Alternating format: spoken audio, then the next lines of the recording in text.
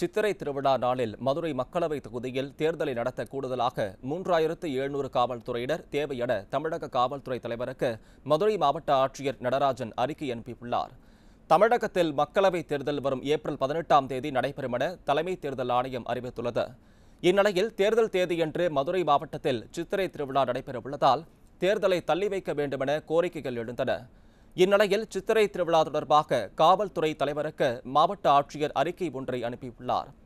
அதில் சித்திரை திருவிழா நாளில் மதுரை மக்களவை தொகுதியில் தேர்தலை நடத்த கூடுதலாக மூன்றாயிரத்து எழுநூறு காவல்துறையினர் தேவை என்றும் மதுரை மாவட்டத்தில் ஏற்கனவே பனிரெண்டாயிரம் காவலர்கள் தேர்தல் மற்றும் சித்திரை திருவிழா பணிக்காக நியமிக்கப்பட்டுள்ளதாகவும் தெரிவிக்கப்பட்டுள்ளது.